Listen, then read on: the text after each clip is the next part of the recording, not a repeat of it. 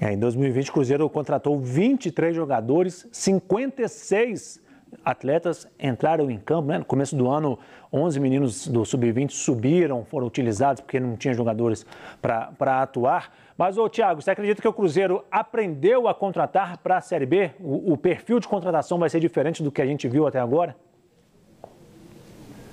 Olha, essa é a esperança do torcedor do Cruzeiro, né, André? Porque se repetir o que aconteceu, contratando tantos jogadores inclusive jogadores é, de qualidade duvidosa, né? A gente viu no início do ano, inclusive, Adilson Batista trazendo, na época ainda do Adilson Batista Cruzeiro, trazendo jogadores aí que ninguém conhecia, né? Dos poucos que vieram, é, a gente pode dizer que a gente conta nos dedos quem que vingou.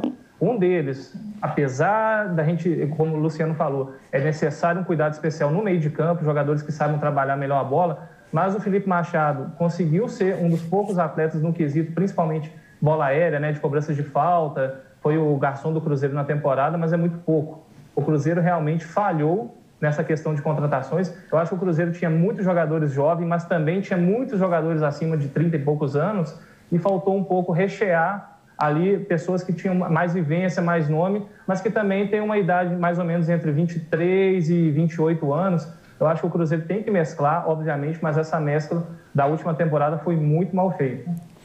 Ô Fred, e uma pergunta para a gente encerrar o bloco aqui. Alan Ruchel, lateral esquerdo da Chapecoense, 31 anos, é, foi surgiu o interesse do América nele e do Cruzeiro. O América, quando recebeu a proposta de salário, achou alto os valores, não quis fechar. E o Cruzeiro está praticamente acertado com o Alan Ruchel.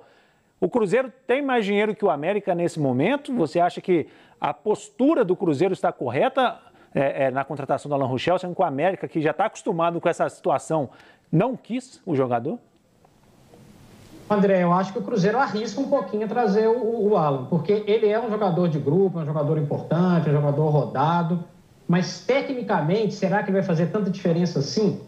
Ele é um jogador, na minha avaliação, especialmente nas laterais, que hoje, pelo menos em relação ao time titular, são raras posições que o Cruzeirense pode ficar um pouco tranquilo, que é o Cáceres e o Matheus Pereira, que é um garoto que tem potencial imenso para crescer mais num time um pouco mais organizado, que eu acho que é o que o Felipe Conceição vai fazer. Eu acho que o Cruzeiro deveria focar em outras possibilidades, outros jogadores, mais ou menos o que o Prata falou, jogadores uma, não tão novos, mas também não, não virando ali os 30 anos. Eu acho que pode ser um investimento bom para o grupo, pelo perfil do jogador, mas tecnicamente o Cruzeiro precisa de algo mais. O Cruzeiro, a gente não custa lembrar aqui que o camisa 10, aqui colocou lá atrás, né? Porque em campo foi uma tragédia, foi o Regis. Então, dá para a gente ter uma ideia mais ou menos de onde o Cruzeiro precisa se reforçar. O Cruzeiro trouxe jogadores nessa última temporada com muita expectativa, com uma certa rodagem de Série B que deram errado. Arthur Caíque, o próprio Regis, vários jogadores que não funcionaram.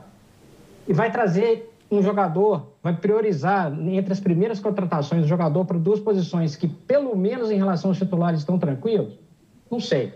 Eu, eu tentaria ir por um outro lado, viu, André?